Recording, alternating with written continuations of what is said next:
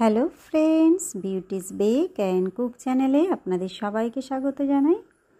আজকে একটা এক পাউন্ডের অরেঞ্জ ফ্লেভার কেক আমি ডেকোরেশন করব। সেই সঙ্গে কিছু টিপস অ্যান্ড ট্রিক্সও আপনাদের সঙ্গে শেয়ার করব। কেক স্পঞ্জটা ছিল আমার এক পাউন্ডের। আমি প্রথমে কেক স্পঞ্জটা এরকম এক হাত দিয়ে চেপে ধরে টার্ন টেবিলটা ঘোরাতে ঘোরাতে কেটে নিচ্ছি। এই প্রসেসে কেকগুলো কেটে নিতে হয়। তাহলে প্রত্যেকটা লেয়ার সমানভাবে কেটে যাবে, কোনো অসুবিধা হবে না। আমি এখানে প্রথমে সুগার সিরাপ একটু ব্রাশ করে নিয়েছি এইবারে ক্রিমের সঙ্গে কিছুটা অরেঞ্জ ফ্লেভার অ্যাড করছি। এটা আমি সমানভাবে দুটো একসঙ্গে মিক্সড করে নিলাম, নিয়ে আস্তে আস্তে পুরো কেকটাতে আমি স্প্রেড করে দিচ্ছি। এইভাবে যদি মিক্সড করতে অসুবিধা হয়, আলাদা পাত্রে ক্রিম আর ক্রাশ দুটো একসঙ্গে মিক্সড করে নেবেন। তবে সেক্ষেত্রে ক্রিম কম বেশি হওয়ার একটু সম্ভাবনা থেকে যায়। সেটা আপনাকে বুঝে ক্রিমের সঙ্গে ক্রাশ মিক্সড করতে হবে। আমি এটা সেকেন্ড লেয়ারের উপর একইভাবেই ক্রিমের সঙ্গে ক্রাশ মিক্সড করছি।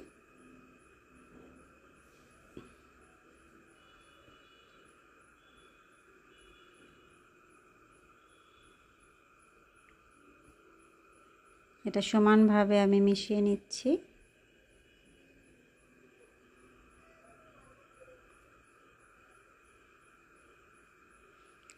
কেক বেক করার সময় যদি ইমালশান ব্যবহার করেন, সেক্ষেত্রে একইভাবে টেস্ট বজায় থাকবে। এই ক্রাশের জায়গায় যদি আপনারা ডাইরেক্ট ফ্রুটসও ব্যবহার করেন, তাতে খেতে আরও বেশি ভালো হবে। আমি এখানে কেকটা প্রথমে ক্রাম কোট করে নিচ্ছি। ক্রাম কোট করে আমি 10 মিনিট ফ্রিজে রাখব তারপরের এরপরে ফাইনাল লেয়ারটা দেব। তার কারণ হলো কেকের যে ক্রামগুলো থেকে যায়, অনেক সময় ফাইনাল আইসিংয়ের সময় সেই ক্রামগুলো উপরে উঠে আসে, ফিনিশিংটা দেখতে ভালো লাগে না। সেই কারণে প্রত্যেকটা বারে আমি ক্রাম কোটটা করি। আপনারাও চেষ্টা করবেন ক্রাম কোট করাটা। তবে হাতে যদি টাইম না থাকে, সেক্ষেত্রে কিন্তু অনেকটা পরিমাণ ক্রিম ব্যবহার করতে হয়। ক্রামগুলো যাতে উপরে না উঠে আসে, সেই জন্য। সেক্ষেত্রে কাস্টমার কিছু কিছু কাস্টমার আছেন যারা কম ক্রিম ভালোবাসেন, আবার কিছু কিছু কাস্টমার আছেন যারা বেশি ক্রিম ভালোবাসেন। সেক্ষেত্রে কিছুটা প্রবলেম হয়তো ফেস করতে হতে পারে। এই জন্য ক্রাম কোটটা করলে আর অতটা ক্রিম ব্যবহার করতে লাগে না। মিডিয়াম মাপের ক্রিম ব্যবহার করলে সবাই খুশি হলো।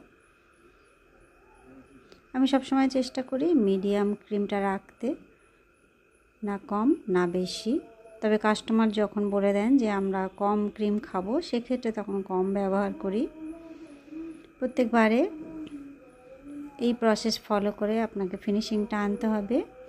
যাই হোক, আমি এখানে কিছুটা নীল রঙের ক্রিম নিয়েছি। মানে ক্রিমে আমি নীল রং মিক্সড করে রেখেছিলাম।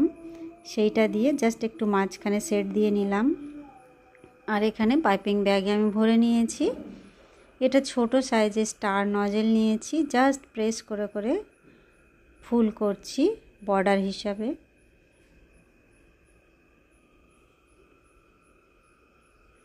কেকটা ডেকোরেশনের জন্য আমি খুব কম টাইম পেয়েছিলাম। আমি বুঝে পাচ্ছিলাম না কি ডিজাইন করব। শেষে মনে হলো এই ধরনের একটা ডিজাইন করে দেখি কীরকম লাগে। এটা ব্লু কালার ক্রিম দিয়ে করছি আর এটা হচ্ছে ওয়ান এম নজেল নিয়েছি আমি।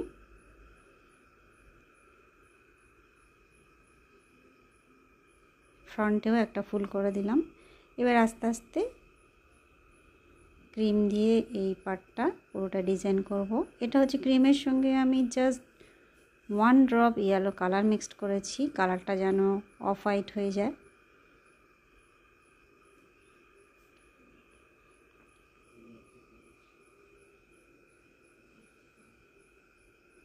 যেখানে যেখানে মনে হচ্ছে ভালো লাগবে, সেইখানে দিচ্ছি ফুলগুলো। আপনার যেখানে পছন্দ সেখানে দেবেন। এমন কোনো নির্দিষ্ট নিয়ম নেই যে এখানে দিতে হবে, ওখানে দিলে হবে না। ডিজাইনটা সম্পূর্ণ নিজের ব্যাপার। কালারটাও আপনি যে কোনো কালার দিয়ে ডিজাইনটা করতে পারেন। বিশেষ করে যারা নতুন তাদের জন্য ভয় পেলে কোনো কিছু চলবে না, সব কিছু ট্রাই করতে হবে, দেখতে হবে কোনটায় কি হচ্ছে, কোন কালারটা মিক্সড করলে ভালো লাগছে, কোনটা লাগছে না, কোন কালারটা কার সঙ্গে মিক্সড করলে অন্য একটু কালার আসছে। সব সময় তো সব কালার আমাদের কাছে থাকে না, সেক্ষেত্রে কালার মিক্সড করে করেও অনেক কিছু যাচাই করে নিতে হয় যে এই কালারটা একবার ইউজ করব, এই কালারটা দেখতে ভালো লাগছে। যাই হোক, কথা বলতে বলতে আমি কিন্তু আমার ডিজাইনটা করে যাচ্ছি। যেখানে যেখানে মনে হচ্ছে একটু ফুল দিলে ভালো লাগবে, সেখানে দিচ্ছি। আমি এবারে চকলেট গানাস দিয়ে এখানটায় হ্যাপি বার্থডে বাবা লিখছি। এখানে কোনো নজেল নেই। গানাসটা যেন একটু স্মুথ থাকে, খুব স্টিফ হয়ে থাকলে কিন্তু লিখতে খুব অসুবিধা হবে।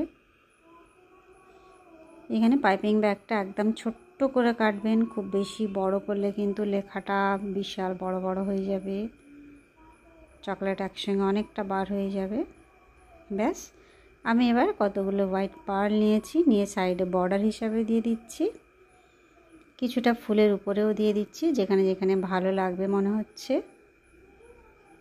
সেখানে সেখানে আমি দিয়ে দিচ্ছি। ব্যাস, কেকটা আমার কমপ্লিট, বন্ধুরা। দেখুন কেমন লাগছে। যদি ভালো লাগে বা সামান্য একটু হেল্পফুল মনে হয়, তাহলে অবশ্যই একটা লাইক দেবেন। চ্যানেলটা সাবস্ক্রাইব করে রাখবেন। আরও বিভিন্ন ধরনের কেকের ডিজাইন আমার চ্যানেলে আছে। সবসময় আমি নতুন কিছু নিয়ে আসার চেষ্টা করি। সেইগুলো আপনারা দেখতে পারেন ট্রাই করতে পারেন। সবাই ভালো থাকবেন। দেখাবে নেক্সট ভিডিওয় বাই বাই